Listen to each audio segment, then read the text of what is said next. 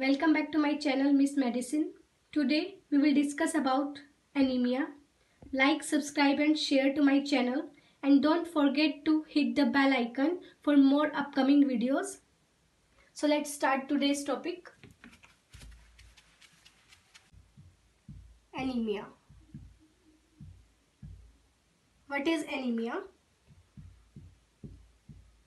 Its definition Anemia is a condition in which you don't have enough healthy red blood cells to carry adequate oxygen to the body tissues or in another or in another way decrease or insufficiency of RBCs or hemoglobin in blood.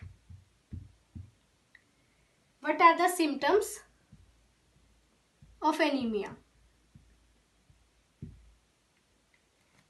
Symptoms are fatigue, weakness, pale or yellowish skin, irregular heartbeats or arrhythmia,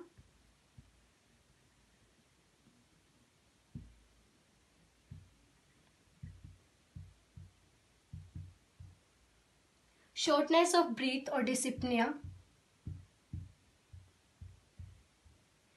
dizziness or lightheadedness, chest pain, cold hands and feet,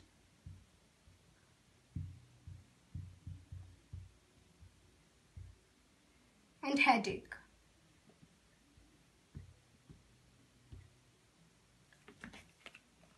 What are the causes of anemia?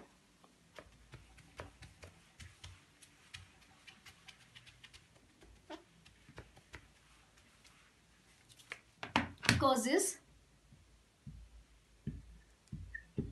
first cause is your blood doesn't make enough RBCs or red blood cells.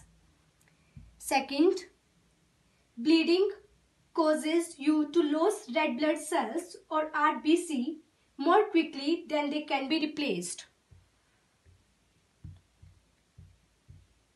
Loss of RBC third one is your body destroys RBCs.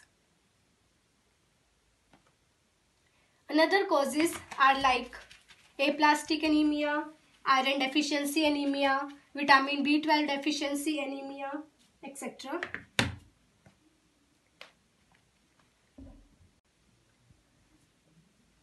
Normal value of RBC or hematocrit level is 41%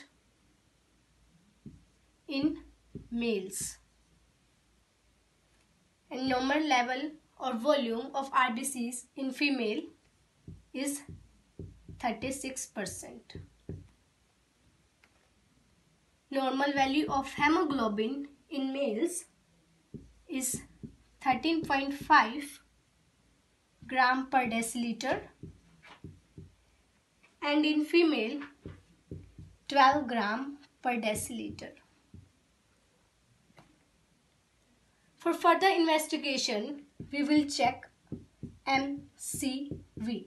MCV is mean corpuscular or mean cell volume. Normal value of mean cell volume is 80 to 100 if CV value is less than 80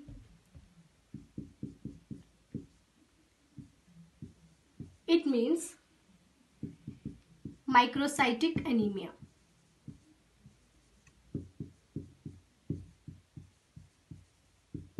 and if MCV is more than or less than 100 it means macrocytic anemia.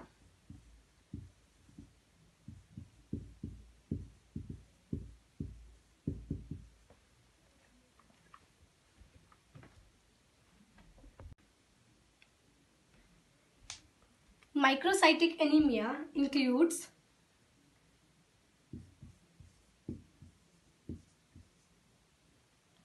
thalassemia,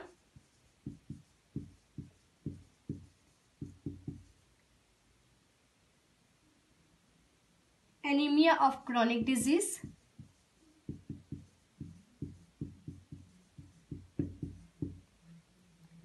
iron deficiency anemia,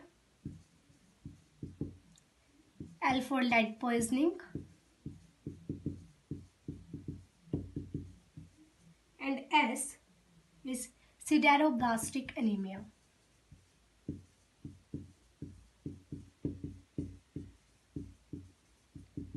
You can remember these by tails. Next is macrocytic anemia. In macrocytic anemia, we will include reticulocytes, reticulocytosis, which also known as acute hemolysis. Second is alcoholism. Third is drugs like AZT or phenytoin.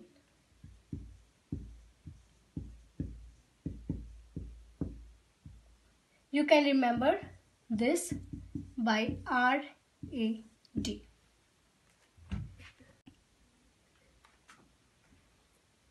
Macrocytic anemia includes megaloblastic anemia.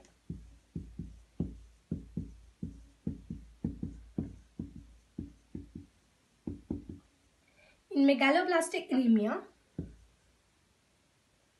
folic acid deficiency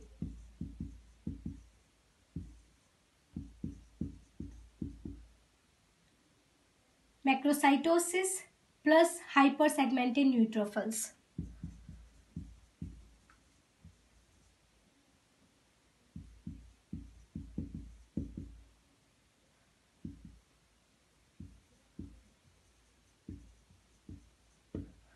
and third one is vitamin B12 deficiency. You can remember these by FMV. FM it's common and FMV. After checking MCV or mean cell volume, we will check or further investigation, we will check reticulocyte count if reticulocyte count is less than 3%, it's known as normocytic anemia.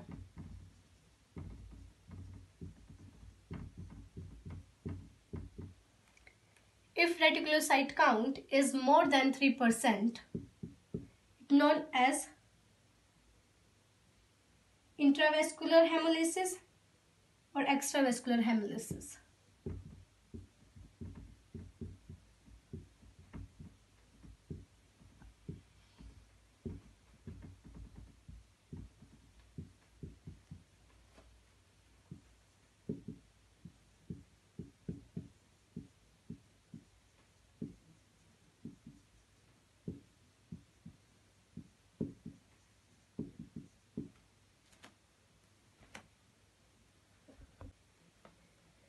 Normocytic anemia normally occur in bone marrow. It includes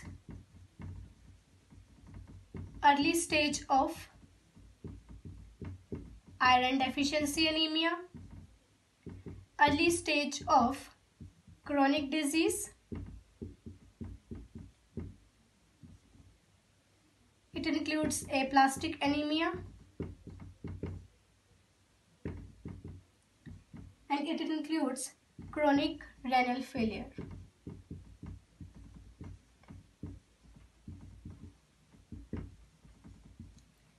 In intravascular hemolysis, we will see hemoglobinuria and decrease in haptoglobin which is protein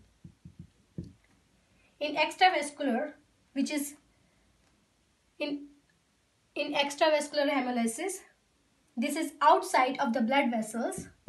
It includes jaundice increase unconjugated bilirubin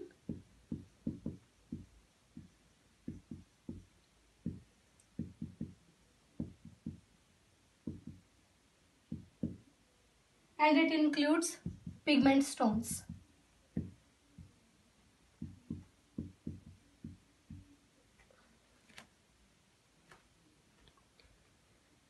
Intravascular hemolysis occur in many diseases like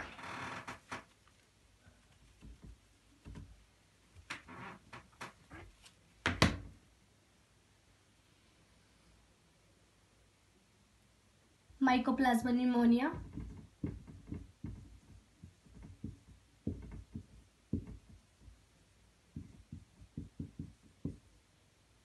aortic stenosis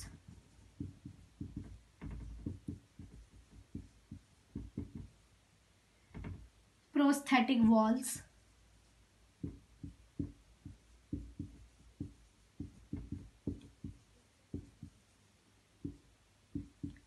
DIC disseminated intravascular coagulation HUS hemolytic uremic syndrome TTP thrombotic thrombocytopenic purpura and intravascular hemolysis occur in deficiency of enzyme which is G6PD which is pyruvate kinase deficiency. Pyruvate kinase deficiency.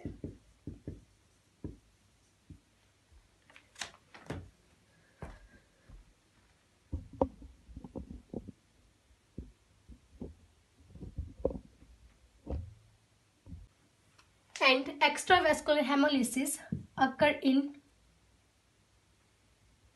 CLL which is chronic lymphocytic leukemia, SLE systemic lupus erythematosus in sickle cell anemia. Extravascular hemolysis occur also in hereditary